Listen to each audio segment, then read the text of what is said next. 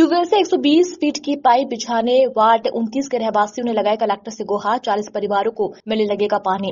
ज़िले के फ़िज़िकल क्षेत्र के रहवासियों ने आज कलेक्टर जन सुनवाई में पानी की गुहार लगाई है। लोगों ने बताया कि ट्यूबवेल से 120 फीट तक पाइप लाइन बिछाई गई है, जिससे 40 परिवारों को पानी मिल सकेगा। जानकारी के अनुसार फ़िज़िकल क्षेत्र के रहवासियों ने बताया कि हम वार्ड नंबर उनतीस के निवासी है और पानी की समस्या से जूझ रहे हैं। टंकी के नल आते नहीं है। बाथे का बिस्तरी के सामने लगे ट्यूबवेल से पानी भरने हम सभी लोगों को जाना पड़ता है। इस कारण से हमें परेशानी का सामना करना पड़ता है। ट्यूबवेल से 120 फीट पाइप डालकर बिछाकर हमें पानी की समस्या से निजात दिलाई जाए जिससे हम लोगों के घर पानी मिल सके।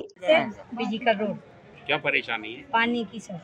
क्या समस्या है? हमारे लिए पानी बोर की थोड़ा हमारे लिए पैप चाहिए बड़ा वाला पाइप पाइप नहीं है। हाँ। पाइप की वजह से नहीं भर पा रहा है पानी। नहीं भर पा रहा सर और जो बोर लगा है उस जगह पानी आ रहा है? हाँ हाँ तो आ रहा है। तो वहाँ से पाइप चाहिए थोड़े। पाइप बढ़वाना है तो आपने उनसे नहीं बोला नगर पालिका वालों से? सर हमने तो किसी से। बोला पार्षद पर से? सब कोई नहीं सुनता सर हमारे। पार्षद पार्षद वोट भी मैं दिलवा दिलवा के परेशान नहीं दिलवाया कभी आता ही नहीं है तो। कौन है पार्षद?